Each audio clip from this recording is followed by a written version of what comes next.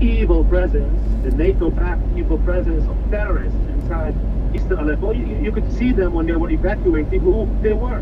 When we went to East Aleppo, we saw their slogans on the streets, we saw their signs. They all said ISIS, they all said Nusra. I pictured myself, my phone, evil presence that was in my city, and it's over now. Of course, I'm, I'm going to have to celebrate. It may be over in Aleppo. The civil war is certainly not over in Syria, and surely the actions of the Syrian government the awful suffering that there's been makes the possibility of any sort of deal about the future of your country even harder to reach. How can you call it a civil war when you have a quarter million foreign fighters are fighting on behalf of various factions and gangs? I mean, I Are you claiming there are not Syrians in the city of Aleppo who are opposed to your government, opposed to the Assad regime, and have been fighting it?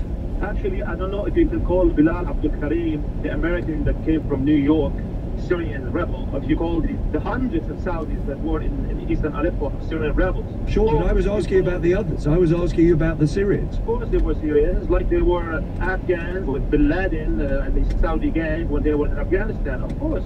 I mean, they're always the bunch, the criminal bunch that will go with whoever pays more dollars. What does that mean? That we have to let them in? They killed 11,000 civilians in the various parts of Aleppo by deliberate bombardment. It's time for them to leave. You sound like you regret, rather, that you're having to. You tweeted, Dear friends in the West, we were going to kill them all, but your leaders wanted to free them. Enjoy having them in your countries then. Do you regret yes, that you couldn't actually kill them? Of course we regret. I don't want you to mix my words. I posted a video of Nusra gangs, Qaeda gangs, cheering, holding their rifles. There are terrorists. They are on your country's terrorist list, on the U.S. terrorist list. Of course I regret not killing them all. You know why? Because they now are going to Idlib and from it they are going to Europe.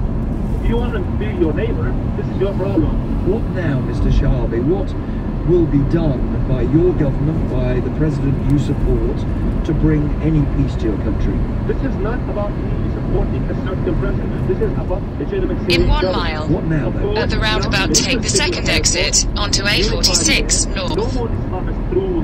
Now we have to go for the rebuilding. Now we have to have some reconciliation. How is what I asked you. First of all, by getting rid of international terrorism on our soil. This is the most important thing. Terrorism backed by NATO and backed by Qatar and Saudi and Turkey. Do you pause at all before describing your city as unified when that seems to be a code for the fact it's a mass graveyard? No, of course it's unified. All morning in the wake of an accident early on on the M40. Just the usual build-up of traffic northbound from 2 at Alvechurch up to 3 at Redditch. The southbound queues, which were at one point back from junction 5 have eased off. The M6 is doing okay, looking at the motorway cameras, even that usual spot from 10 down to 8. But it is very busy on the Aston Expressway. Looking at the cameras, I can see queues in both directions, particularly busy as you head on that two-lane section out towards Spaghetti Junction. And apart from that, just the uh, usual rush hour traffic to watch At the roundabout, take the second exit onto A46 north. Heading into Birmingham city centre. And in Wolverhampton, there is a bit of traffic on Penn Road, and quite busy too through Burntree, heading past, um, well, through Dudley Port, heading past Dudley Port Station.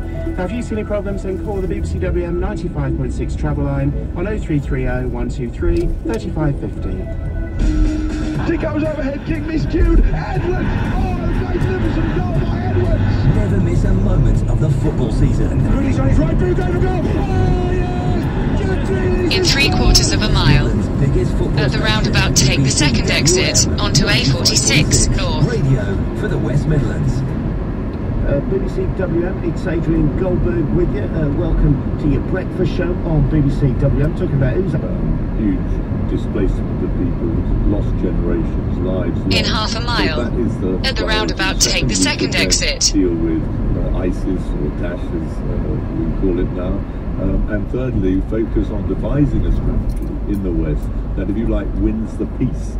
Uh, I'm afraid we've lost the war, but that does not mean, if we get the right strategy, that we need to lose the peace. And uh, I think that's what Western politicians and statesmen must now focus on. And the line there about, look, enjoy having these people in your own country, is he right that many of these people who are terrorists will come back here At the roundabout, the take the second exit onto A46 North. Well, I think undoubtedly the record is there to substantiate that, chaps.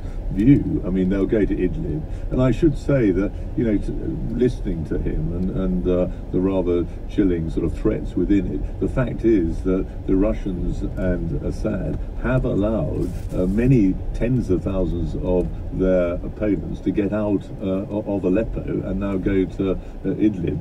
Um, so we should take, I think, at least for now, the Russians at at face value. Um, it is not in their interest to have a big propaganda uh, problem by them being seen to interrupt that flow. I mean, they're, they're smelling of roses, if you like, in some respects. In 1.4 miles, they're now keep right onto M69 north. Allowing their enemy to lead.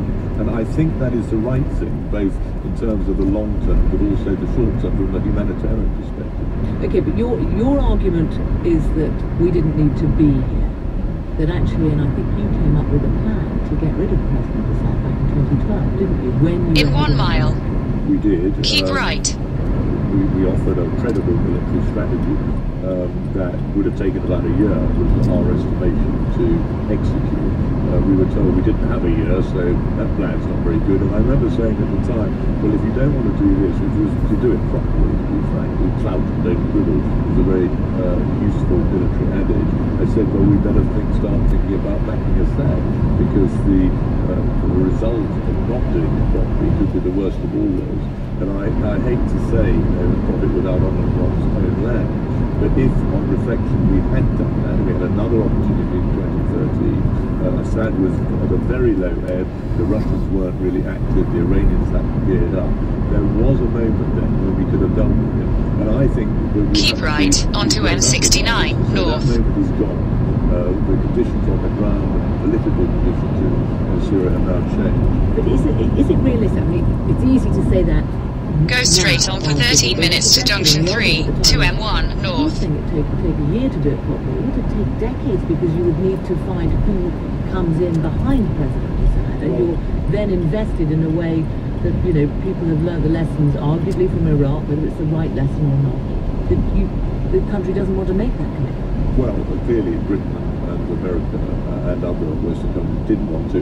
I don't think we've got time to go into it. All I can reassure you is it was a credible, credible political military strategy, uh, and that's why it would have taken a year, and it would have forced. Uh, because the, the prize was success, it would have forced the warring party or the, the uh, various opposition groups to uh, A6 is closed from junction 24 of the M1. That's causing some slow traffic around there, although the M1 seems to be going fairly past, uh, fairly well past it. A453, a couple of lanes closed southbound on here, causing some very heavy traffic heading southbound on there. That's down towards the same junction.